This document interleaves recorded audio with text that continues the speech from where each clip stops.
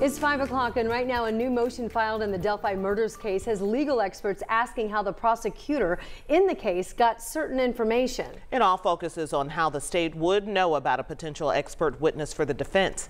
Carroll County prosecutor Nicholas McLeland is requesting access to Richard Allen's mental health records. He wants the records of his mental health since he was moved to state prisons. Rich Nye is here now to explain what else is in that motion that could send this case into even more legal battles. Rich? Okay, ladies, here we go to law school again okay. tonight. the motion filed by the prosecutor Wednesday refers to the contents of a verified ex parte motion filed by the defense. And that's the problem. The prosecutor is not supposed to know what's in that motion. Richard Allen's public defenders, Bradley Rozzi and Andrew Baldwin, have to ask Judge Frances Gull to approve funding to consult with experts on their case. That's done in private, ex parte communication between the defense and the court only.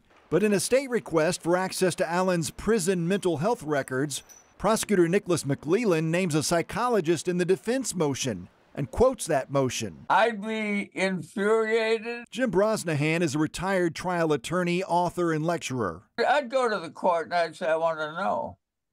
I want to know how this person knew if I were doing it, I would say I'm making no assumptions. I don't know how it got out. I just know that it got out. It definitely raised questions uh, on how an ex parte motion would be available to a party or to the public, because again, an ex parte motion is a motion that's filed under seal uh, to the court, and only the court should have access to that motion. The Indiana Public Defender Council says this points out the need for all Indiana counties to have state public defense funding through local or regional services that are independent of judges. Public defenders should be able to work completely without the control and supervision of a judge, um, like the prosecutors do, because you can imagine how a person who's accused of a crime would feel if the attorney is beholden to a judge for payment.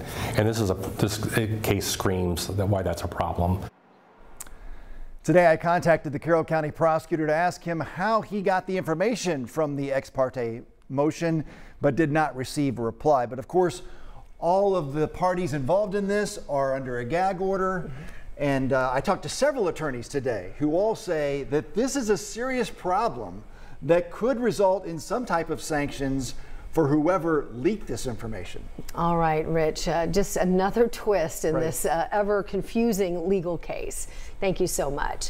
Now, Richard Allen is charged in the deaths of two young girls, Abby Williams and Libby German. They both went on a hike near the Monon High Bridge in Delphi back in February of 2017. Both girls were reported missing and their bodies were found the very next day.